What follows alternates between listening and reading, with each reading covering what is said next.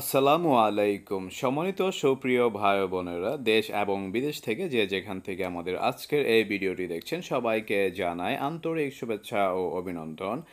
আমাদের আজকের এই ভিডিওতে আপনাদেরকে জানাব, যেমনটা আপনারা স্ক্রিনে দেখতে পাচ্ছেন যে আমরা একটা এমএস গেটের কাজ করছি। তো এই গেটটার সাইজ হচ্ছে, পাশে হচ্ছে সাড়ে চার ফিট আর উচ্চতা হচ্ছে ছয় ফিট। তো এখানে আমরা এই গেটটা স্লাইডিং ক্যাটাগরিতে তৈরি করেছি। তার মানে হচ্ছে চাকাওয়ালা গেট আর কি একপাশে চলে যাবে, বিশেষ কোনো জায়গা নষ্ট হবে না। তো এই গেটটাতে আমরা কি কি মালামাল ব্যবহার করলাম এবং কি বর্তমান বাজার দর হিসেবে কত টাকা কেজি হিসাবে নিয়ে থাকি এবং কি কত টাকা স্কোয়ার ফিট হিসাবে নিয়ে থাকি, সেটাই কিন্তু আমাদের আজকের এই ভিডিওতে আপনাদেরকে জানিয়ে দেবো যে টোটাল গেটটার খরচ কত পড়ল, সেটা কিন্তু আপনাদেরকে জানিয়ে দেব।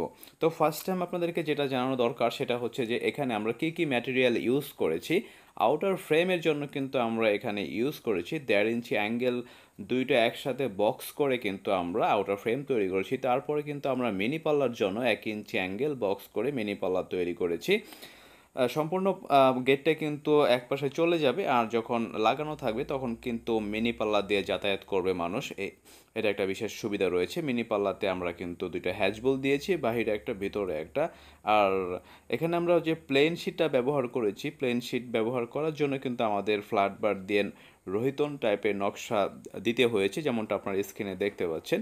প্লেন শিটগুলো আমরা বাইশ গ্যাচ প্লেন শিট ব্যবহার করেছি। আর ওপরে যে গ্রিলের অংশটুকু দেখতে পাচ্ছেন, আমরা গ্রিলের সাথে মিল রেখে কিন্তু আমরা ওপরে গ্রিলের অংশ মানে গেটের অর্ধেক অংশ হচ্ছে গ্রিল সিস্টেম, আর নিচেরটা হচ্ছে যে ডোর সিস্টেম আর কি, এরকম বিষয়।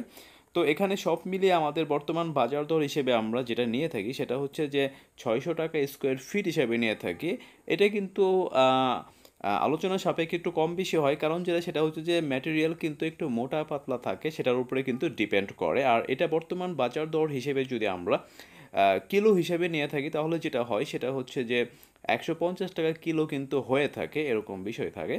তো এই টোটাল গেটটা আমাদের খরচ পড়েছে যেটা, সেটা হচ্ছে যে ষোলো হাজার টাকা খরচ পড়েছে। এখানে আমরা দুইটা চাকা দিয়েছি। চাকাগুলো হচ্ছে যে খুব ভালো কোয়ালিটি চাকা, এখানে বিয়ারিং থাকে, সেগুলো কিন্তু যে কোনো সময় চেঞ্জ করা যায়, এটা একটা সুবিধা রয়েছে। আর উপরে কিন্তু আমরা চ্যানেল দিয়েছি, আর নিচে shape rod solid shape rod দিয়ে কিন্তু আমরা লাইন দিয়েছি, যেটা হচ্ছে যে কোনো ফাঁকা থাকে না। অনেক সময় এমএস পাইপ দিয়ে দেওয়া হয়। যদি রেট কম থাকে তখন যেটা হয় সেটা হচ্ছে যে ভিতর থেকে কিন্তু মরিচার ধরে লাইনটা নষ্ট হয়ে যাওয়ার একটা সম্ভাবনা থাকে এরকম বিষয়। আপনারা যদি আরও কোনো কিছু জানতে চান এই গেট সম্পর্কে, তাহলে অবশ্যই কমেন্ট করবেন। অ্যাকচুয়ালি সত্যি কথা যেটা, সেটা হচ্ছে যে ভিডিওতে সব কিছু মনে থাকে না, অপ্রস্তুতভাবে ভিডিওগুলো করা হয়। ভিডিওটি শেষ পর্যন্ত দেখার জন্য ধন্যবাদ।